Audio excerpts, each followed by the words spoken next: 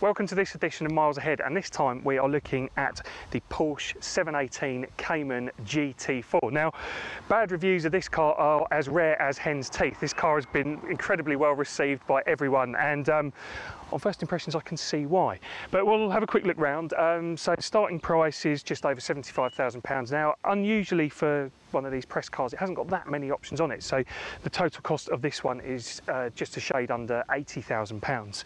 Um, so we'll see if that's good value. You get Porsche's naturally aspirated 4 litre flat six engine. It does 0 to 60 in 4.4 seconds. This is the manual and it's got a great gearbox. Um, I do like the Porsche PDK automatic box. I know that's not to everyone's taste, but this as a manual is really good. So anyway, let's have a quick look around it. So this has been murdered out, I've heard it referred to, so everything's done in black. Um, the bi xenon headlights, they're £918. Uh, you get this front splitter with the GT4 uh, logo down there, so you can see that you've got the air intakes on the sides. Um, you can hear the engine because it's mid-engined. Obviously, the, it is just behind you in the cockpit, so that's quite noisy. But we'll we'll get to that on the drive along shortly. So as we come round, so it's got the 20-inch. These are Cayman GT4 specific wheels, so they have the GT4 logo rather than the Porsche logo in the middle.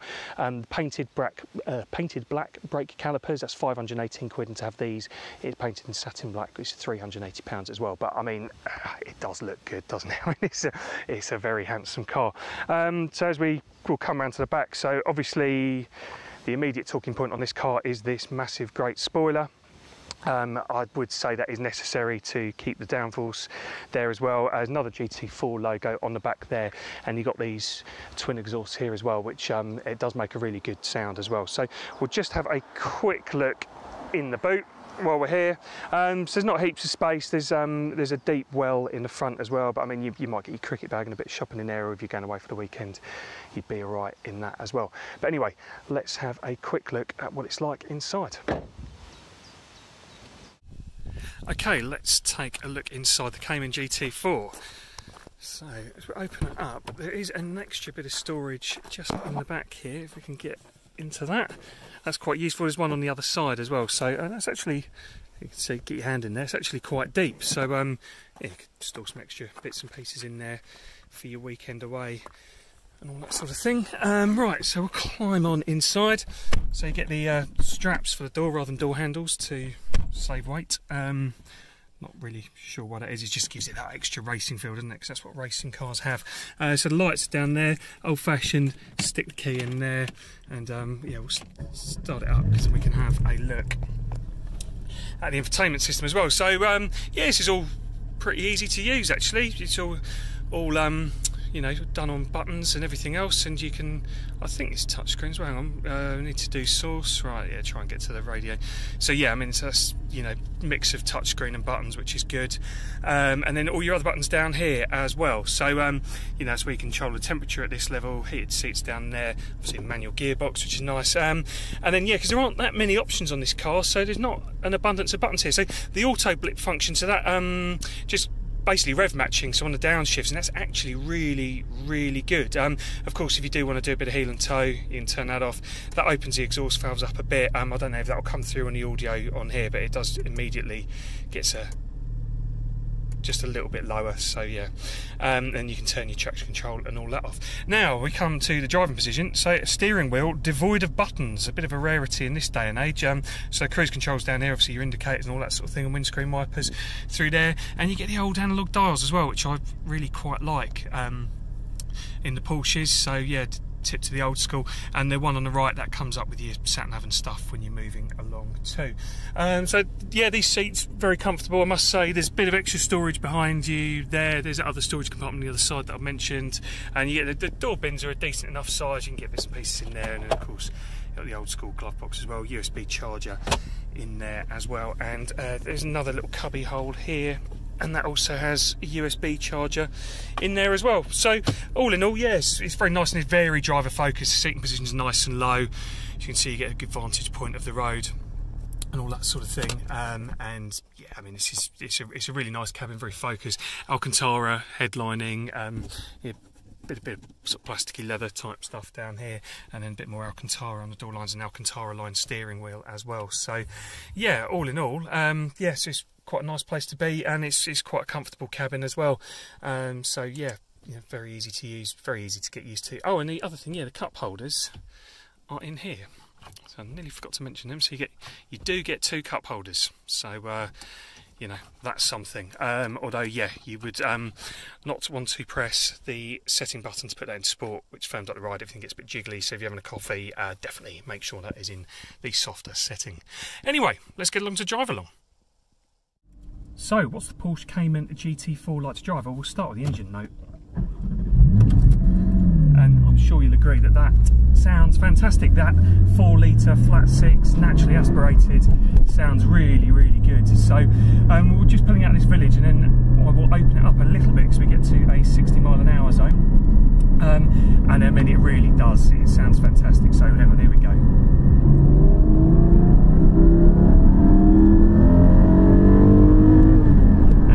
Lines at 8,000 RPM. Now the problem is, um, as I'm sure you've heard elsewhere, that the second gear is quite long, so you can actually apparently get up to 85 miles an hour in second gear, which um, you're going to lose your license pretty quickly um, doing that. But you get good power delivery through the rest of the gears as well. Um, you know, you get decent power delivery going second to third, and it's quite much smoother when once you're into fourth. So you know, you don't just stick it in second and leave it. It's you know, it's still a very drivable car, and I do really like the manual gearbox. As I said in the walk around, I think um, yeah, that's that's good. Um, I mean, option, I think it's two thousand pounds.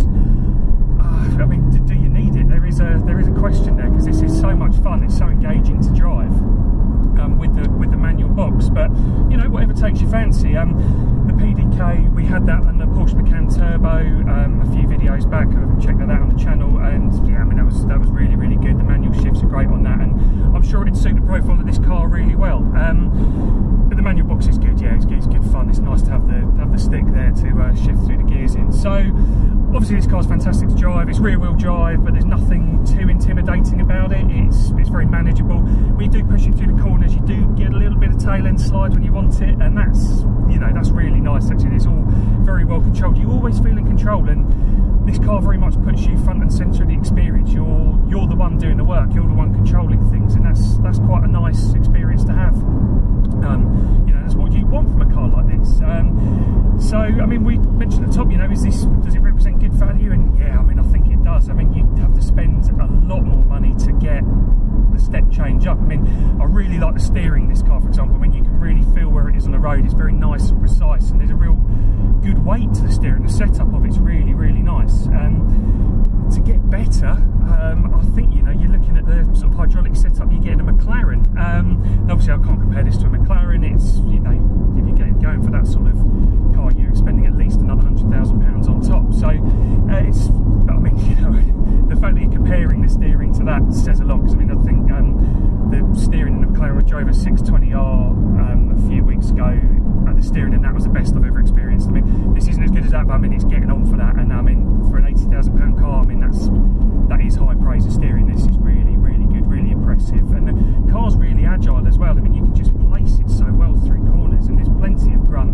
It produces about 414 brake horsepower. It's 440 horsepower. Um, so yeah, I think in old money BHP it's about 414, and it's enough. I mean, it's quick without being terrifyingly quick, which is good. You feel like you could use this. Now, I can imagine if you're sort of new to sports cars, you could jump in this and you'd find it really easy to use. And also, if you've been driving sports cars your whole life and you're looking for thrills and spills, this will deliver, and it will deliver everything in between as well. I mean, it's a really, really impressive car. I mean, I am by no means a driving expert. I don't have racing licenses or anything like that. Um, you know, you feel like a good driver driving this, and you know that's that's really what you're after, isn't it? You know, you want to get behind the wheel of a car like this and it make you feel good, and you know, this car absolutely delivers this.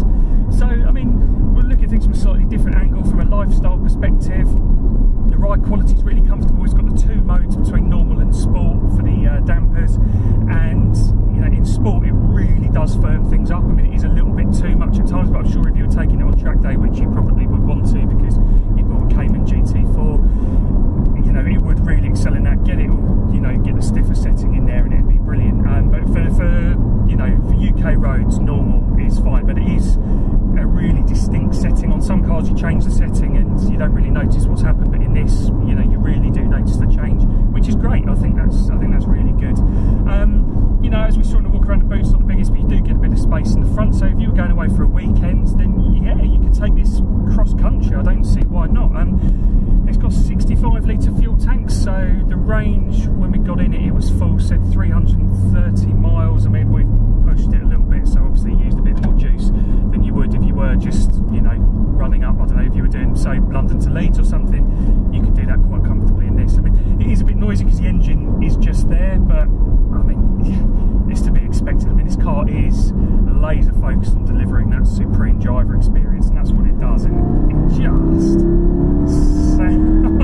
fantastic. I mean, that's another problem. You are going to get very used to doing that. You will want to open it up all the time, and it just it just responds. And I've just been really impressed with the agility, but the ease of access. Yeah, like I say, if you're a newbie to the sports car scene or you're a veteran of the sports car scene, this car will not fail to impress. And yeah, for that reason, I mean, I've been I've been blown away by it. It's been everything that I expected, and I was expecting big things. So yeah, this is a really really impressive car hope you've enjoyed this video. Um, if you did like it, please hit the like button. Please subscribe. We've got loads more videos coming up. Uh, we've got an Audi e-tron S. We've got a Caterham 620. We've got an Aston Martin DBX and an Aston Martin DBS coming as well. Ferrari Roma, and we've got Polestar 1 as well. So um, we're speaking to people about other videos as well. So we've got loads of stuff coming up. Um, I hope you enjoyed this video, and yeah, please hit subscribe, and yeah, hopefully see you soon. Thanks.